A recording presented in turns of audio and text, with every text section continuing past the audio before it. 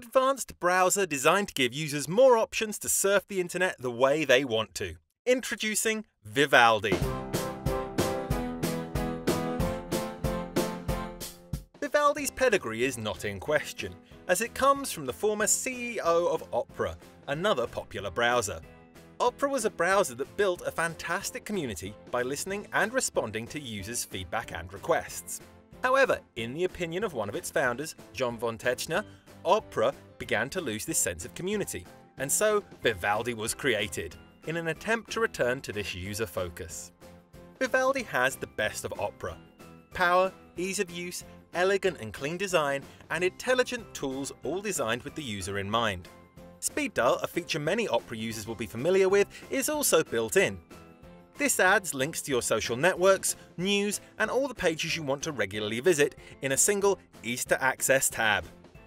Managing bookmarks, history, and cookies is also nice and easy, highlighting Vivaldi's focus on customization.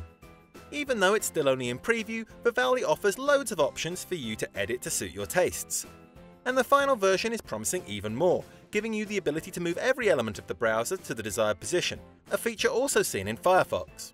There will also be fully customizable mouse gestures and keyboard shortcuts to speed up your browsing experience.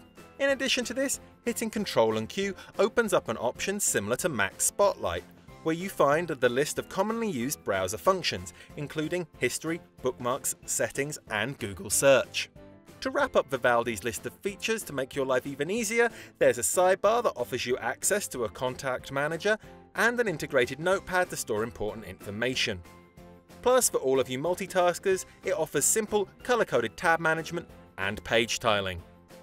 If all that still isn't enough, they're also working on building in email integration, which makes sense, as the browser is where most of us read our emails. With the ability to sync your settings across Mac, Linux, and Windows devices running Vivaldi, this could be the new browser for all four seasons.